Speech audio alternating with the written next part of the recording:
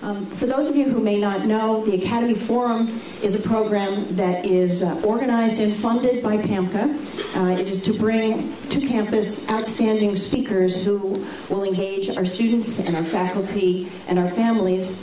And it is also our pleasure to be able to open it up to uh, the larger community. So we welcome you all. We're really delighted that you've uh, braved the elements to join us tonight. Before we get going uh, with our program tonight, there are just a couple people that I want to thank for making it possible for us. Uh, first, uh, Amy South. Amy, where are you? Amy's around somewhere. Amy is our community vice president. Uh, there she is in the back. she is uh, ultimately responsible for, for the entire event tonight. Uh, next is Lucy Batzik, and Lucy is in the doorway there. Lucy has executed every single detail for tonight. Uh, we have Trish Perlmutter. Um, Trish is, has shepherded this program from uh, the very beginning. And last but not least, Judy Polinovsky and Debbie Kozak, who uh, make absolutely everything happen for us here at MKA. So thank you very much. So now, uh, without further ado, it's my pleasure to introduce the headmaster of the Montclair Kimberley Academy, Tom Nammack.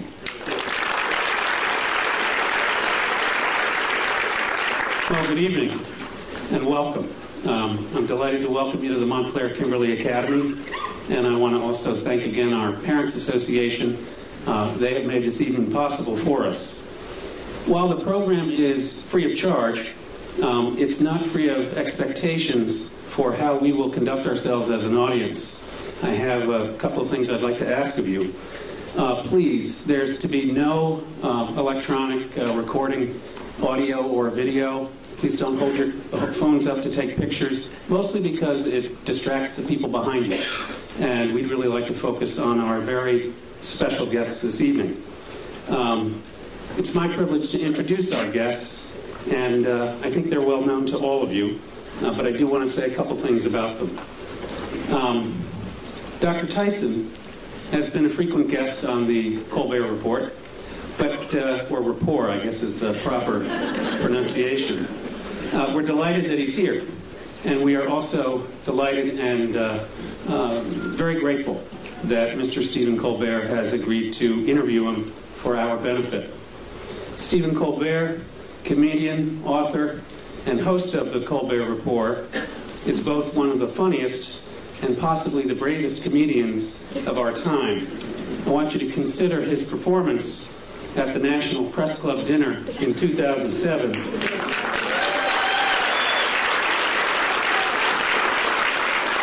As he, uh, as he stood just a few feet from the President of the United States, known to the rest of us as the most powerful man in the world. Dr. Neil deGrasse Tyson, astrophysicist, director of the Hayden Planetarium, author of nine books, teacher, lecturer, host of NOVA's four-part series Origins, and member of two presidential commissions on the United States aerospace industry and the future of our country's space exploration. Dr. Tyson has a gift for working successfully within the realms of research, education, and policy formation. I owe you all an explanation about our theater tonight. What you see on stage is the beginning of a set for a seventh grade production of Romeo and Juliet. This year's selection for uh, what is, as I said, an annual performance. And I think it's fitting that Dr. Tyson uh, is going to warm up the stage for the two most famous star-crossed lovers in all of American literature. Um, it occurred to me that there are a few things that Stephen Colbert and uh, Neil Tyson have in common, and I wanted to comment on them. Both of them share an overarching purpose to make sense of the world. They also share a common strategy. They often look to the stars, human or heavenly, for evidence of how things work. Though Stephen Colbert is far tougher on the objects caught in his gaze, whereas Dr. Tyson is only known to have obliterated Pluto. they share methods in their respective fields, whether, whether it is the search for evidence that makes sense of the world and the universe, or the creative construction of questions and tests by which the truth and significance of who or what is before them are evaluated. Perhaps then they both have something in common with William Shakespeare the desire to provide their audience with a lens to see the world from a previously unconsidered point of view and not just as others would have us see it. So while the stars may be dazzling, training and instinct appear to have taught each of them to look away from celestial bodies. I'm really sorry, I have to get that bad cliche in there somewhere. and to consider the effects that those celestial bodies have on everything and everyone around them. In addition to the challenging questions that each of them make us confront, their work has given the world a little more of that very rare and gem like substance known as the truth, or in Stephen Colbert's case, truthiness. And we are very grateful. Ladies and gentlemen, Mr. Stephen Colbert and Dr. Neil deGrasse Tyson.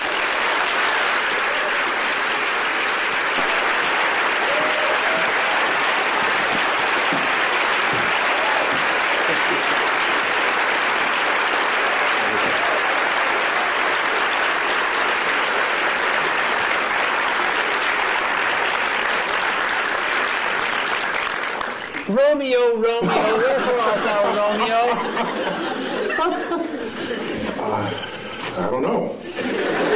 Neil, thanks so much for coming. Tonight. Yeah, no, it's, I'm, I'm uh, thank you. Miss, uh, Mr. Dr. Neil deGrasse Tyson is, um, he's been on my show six times. And often when I come out to greet the audience before I do my show, they ask me, who's your favorite guest of all time? And I say, not just for volume, but it's Neil deGrasse Tyson. because not only uh, do I love what Neil knows, but uh, I love that he loves what he doesn't know.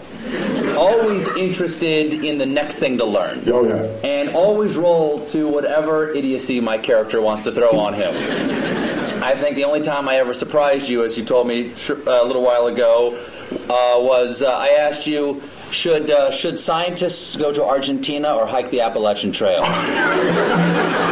Yeah, I I, want people to talk about them. the universe talking I there. think That- we're a little that- there. The universe amplifies. Yeah, that one. What I that, I missed that one. Yes, you'd missed that news story. Yeah. See, I, I, to go on a show, it's like the hardest interview ever. I have to like I'm laden with current events just to mix with my science because I don't know where he's going to come at me, and I got to be like ready with seven tennis rackets to hit it back. And I'm upset because that one news story. Remember with the guy? Was it South Carolina guy? Who remembers? He, he goes to Argentina and becomes well known for having done so. And you ask me straight out, should scientists visit Argentina more often to become better known? And it just went, I just, you aced me on that one. You're welcome. Now, Neil, uh, we've got a lot to talk about tonight. Yeah. A lot of subjects. Science is a big thing. But I want to start off with this is not a bribe. I want to start off with. Uh, these chairs, I feel myself sliding. no, I know. It's like, this When is first walked in. I said, "Oh, welcome to the barn raising." I realized we were speaking before the Amish tonight. Now it's going to be make it tough to talk about science and technology. All right, Neil, I, I want to start. Um, I want to start in a in a in a broad way. Are you tweeting now, or are you actually trying to interview me? No, I'm just looking at I'm just looking at photos of myself. Get a little work done. I need a little freshen up. Now, let me ask you a very basic question. Science, from sci- uh, scientia, in Latin meaning knowledge. I didn't take Latin, but I'll take your word for it. Yeah. Is it better to know or not to know? I think, well, my blunt answer is it's better to know. All right, But That I is- can- that is that is debatable though. Well, I said it's my answer. Yeah. I mean, somebody else might have a different answer. For instance, Oedipus might have a different answer. Yeah, I mean, I think Is is is knowledge always a good thing? I have to say yes Why? because it empowers you to react and possibly even to do something about it if something about it needs to be done. Okay, but who we are is what we know, right? Would you- Part of who we are is what we know. And our identity Mm-hmm. is often based on how we see the world. Yes, and our personality for sure. And if we learn something that does not jive with how we think about the world, won't we have to re-examine who we are? Yeah, it could mess you up. Yeah, yeah. Once again, I'll go back to Oedipus. he plucked his eyes out rather than know anymore. Yeah, well, back you know, people back then, you know, they did stuff like that. Yes, pe- people back then, not people today. Um, so, so I think there's, you know, there are people who would not know, who, who would rather. I remember the old days. I don't know if it still happens. Doctor would find out if you had cancer, they wouldn't tell you. They Right. wouldn't tell you. Give it to me straight, Doc. Yeah, and why would you even have have to say "give it to me straight" unless there was a day when they didn't give it to you straight? I'd like if I have five years left, I want to know I have five years left because I'm going to like do something different in those five years. If I Neil? yeah, I have some terrible news. so I'm But there are some people who don't want, there, there, are, there are some people who don't value science. And if they don't value science, are they valuing ignorance? Yes, and, but I will not pass judgment on them. What I will say is, if they are at maximal comfort in their ignorance, fine. Except that they will not be the participants on the frontier of cosmic discovery. They will be disenfranchised. Hello? Hello? I'm sorry, I've got a phone call. Hello? sorry, I have to. ta- I have to take this. Hello? My mic isn't. My mic isn't working. Now who's in control?